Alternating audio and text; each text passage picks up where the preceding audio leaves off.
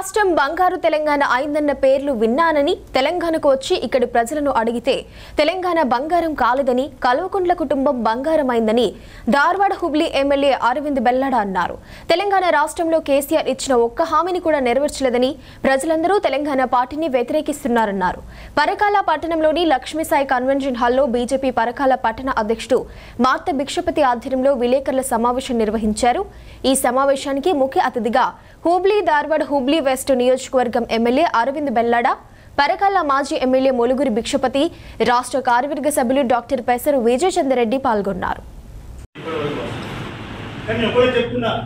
నేను పార్టీలో చేరినప్పటి నుంచి మీ ద్వారా మా పార్టీలకు ప్రజలకు కూడా చెప్పడం జరిగింది.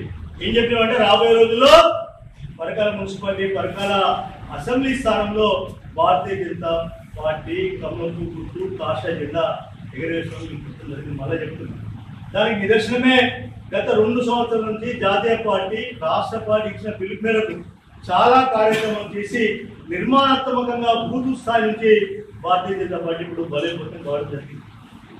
మొన్న మా మీద కొంతమంది రౌడీలు ఉన్నారు అధికార బలంతో వాళ్ళకు ఉన్నటువంటి గౌరవంతో గర్వంతో వారికి ఉన్నటువంటి అధికార దుర్ని అధికారాన్ని దుర్వినియోగం చేసుకొని పోలీసులు అన్నందుకు కొంతమంది కార్యకర్తలు ముట్టింది మేము కాశీ ఇచ్చినాం ధర్మారెడ్డి గారికి.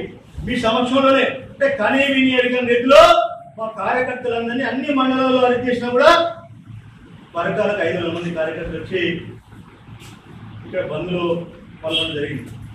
వచ్చారు. మీ అందరికీ తెలుసు నూట పంతొమ్మిది నియోజకవర్గాల్లో ఒక్కొక్క ఎమ్మెల్యే గారు వచ్చి అసలు తెలంగాణలో పనిచేశారు.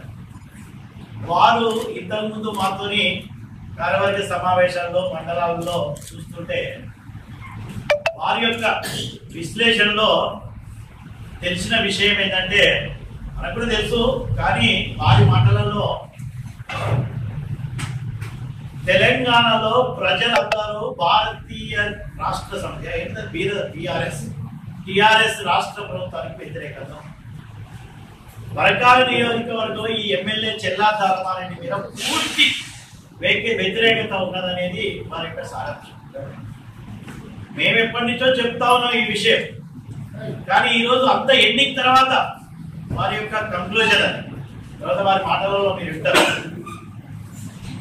ఏ యొక్క ప్రజా సంక్షేమ కార్యక్రమంలో మీరు పెద్దగా చెప్పుకున్నటువంటి టిఆర్ఎస్ బిఆర్ఎస్ రాష్ట్ర ప్రభుత్వం ముఖ్యమంత్రి కేసీఆర్ గారి ఆదేశాల మేరకు ఒక్క పథకం అంటే ఒకటి పూర్తి వల్ల అమలు కాలేదు. కొన్నేమో మొదలే పెట్టలేదు. కొన్నేమో పాక్షికంగా చేసినామంటే చేసినాం. కొన్ని అయితే ఓన్లీ చెప్పుకునడానికి మాత్రమే పథకాలు. డబుల్ బెడ్రూమ్లు అన్నారు ఎక్కడ కూడా కాలేదు. దళిత బంధు అన్నారు ఎక్కడ పూర్తిగా అమలు కాలేదు. దళితులకు మూడు ఎకరాలు ఎక్కడ అమలు కాలేదు. రైతుల రుణమాఫీ అని మన ఎలక్షన్లు అప్పుడు గుర్తొచ్చింది. ఇప్పుడు ఇన్నేళ్ళ నుంచి రైతుల రుణమాఫీ అని భారతీయ జనతా పార్టీ ఎన్నో ఉద్యమాలు చేసింది. కానీ ఈ రోజు ఎలక్షన్లు వచ్చే వారికే నువ్వు రైతు రుణమాఫీ అనౌన్స్ చేసినావు. అది ఎక్కడ కూడా రుణమాఫీ పూర్తిగా అమలు చేయట్లేదు. అందుకనే సకాలంలో అమలు చేయని రైతు రుణమాఫీని పూర్తి లెవెల్లో అమలు చేయాలని భారతీయ జనతా పార్టీ డిమాండ్ చేస్తుంది